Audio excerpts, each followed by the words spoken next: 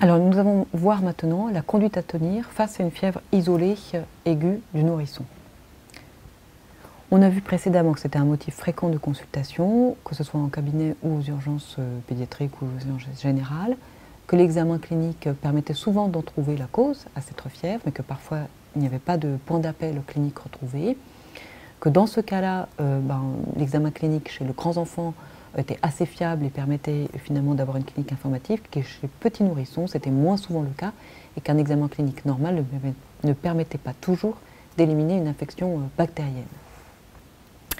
Les principales étiologies retrouvées malgré tout sont avant tout virales, c'est souvent des infections virales, et parfois des infections bactériennes. Dans les infections bactériennes, en premier lieu, quand il n'y a pas de point d'appel clinique, c'est l'infection urinaire qui va être la plus fréquente.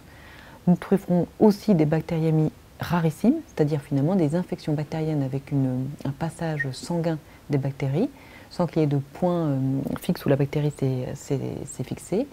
Euh, c'est devenu assez rare depuis la vaccination euh, anti-pneumocoque, notamment et anti-hémophilus, mais c'est quand même un élément à évoquer. Et puis après, parfois, au début de la fièvre, eh bien, il n'y a pas de point d'appel clinique évident, et ces points cliniques vont apparaître secondairement dans le cadre d'infections graves telles que les méningites Le pourcentage d'infections bactériennes semble plus important chez les plus petits nourrissons. C'est pour ça qu'il va falloir être prudent quand l'enfant est petit. Alors, il y a de nombreux algorithmes qui ont été développés pour essayer de guider finalement le médecin dans sa prise en charge face à ces fièvres isolées du nourrisson. On a des critères, le critère de Rochester, le lab score, euh, et en cours d'évaluation au niveau français, il y a l'étude de Diafiver. Ce qu'il faut retenir, c'est que pour le moment, il n'y a pas vraiment d'algorithme idéal. Il faut retenir que plus le nourrisson est jeune, encore une fois, plus on va être prudent dans la prise en charge, et que c'est souvent un faisceau d'arguments, cliniques mais aussi paracliniques quand les nourrissons ont moins de 3 mois, qui va permettre de déterminer euh, finalement la cause de la fièvre et de prendre en charge correctement ces enfants. Alors pour les nourrissons de moins de 3 mois qui présentent une fièvre isolée aiguë, il faudra systématiquement un examen euh, paraclinique, c'est-à-dire un examen clinique mais aussi des explorations. Chez le nourrisson de moins de 1 mois, euh, la clinique, les signes de gravité bien évidemment prédominent et priment avant tout. S'ils sont présents, il va falloir l'adresser rapidement finalement à l'hôpital mais il faudra systématiquement finalement des examens complémentaires avec un bilan sanguin, une recherche en premier lieu d'infection urinaire, avec une mollette urinaire et un ECBU quand l'enfant a moins de 1 mois, parce que la valeur prédictive négative de la mollette urinaire n'est pas très bonne chez le nourrisson de moins de 1 mois, et puis au moindre doute, réaliser aussi une ponction lombaire. Et ces nourrissons vont être surveillés en hospitalisation. Chez les nourrissons qui ont euh, finalement plus de 1 mois, qui ont euh, un, deux mois et qui ont moins de trois mois, il sera également nécessaire de réaliser des examens complémentaires avec en premier lieu la recherche d'infection urinaire.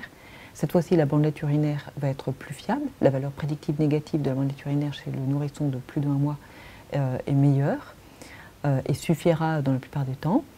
Euh, il faudra parfois faire aussi des marqueurs sanguins qui permettront de déterminer exactement ce qui se passe et plus ou moins surveiller l'enfant en milieu hospitalier. Ça veut dire que les nourrissons de moins de 3 mois qui présentent une fièvre isolée aiguë du nourrisson vont généralement nécessiter une venue aux urgences pour pouvoir permettre d'explorer la cause de cette fièvre. Pour les nourrissons de plus de 3 mois, l'examen est beaucoup plus fiable. Et donc on va d'abord se fier à l'examen clinique et pas forcément réaliser d'examen complémentaire. On va rechercher du coup le point d'appel à cette fièvre, les signes de gravité qu'on a dit précédemment, on va rechercher un contexte particulier, comme on l'a dit également précédemment, ce qui sera fait aussi chez le nourrisson de moins de 3 mois, bien évidemment.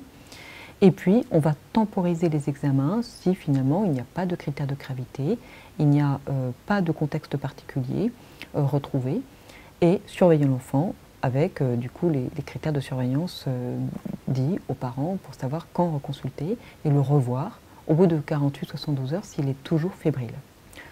En cas d'éléments finalement de gravité ou de présence d'antécédents particuliers, notamment d'infection urinaire, le premier élément qu'il va falloir rechercher, c'est avant tout une infection urinaire et commencer par une bandelette urinaire, en sachant qu'elle est difficile à réaliser chez l'enfant qui n'est pas propre, que le meilleur moyen finalement de déterminer ça, c'est souvent de faire plutôt un sondage urinaire pour qu'il soit peu contaminé, mais qu'en laboratoire de ville, ça va souvent être une poche qui va être posée.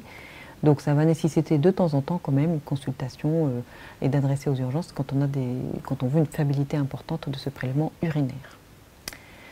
La conduite à tenir symptomatique, elle est de conseiller les parents euh, sur finalement quoi faire quand leur enfant a de la fièvre. C'est éviter de trop couvrir l'enfant, bien aérer la pièce, bien l'hydrater, parce qu'il peut, euh, notamment quand il est petit, finalement se déshydrater sur la fièvre. Les bains sont maintenant déconseillés au moment des pics fébriles en raison finalement de la mauvaise tolérance possible du bain, c'est-à-dire qu'il est difficile de maintenir une température du bain importante pour qu'il y ait une faible déperdition euh, d'énergie à travers toute la peau de l'enfant. Donc la plupart du temps, quand on le donne, l'enfant va se mettre à frissonner quand on le sort du bain ou pas bien tolérer la fièvre.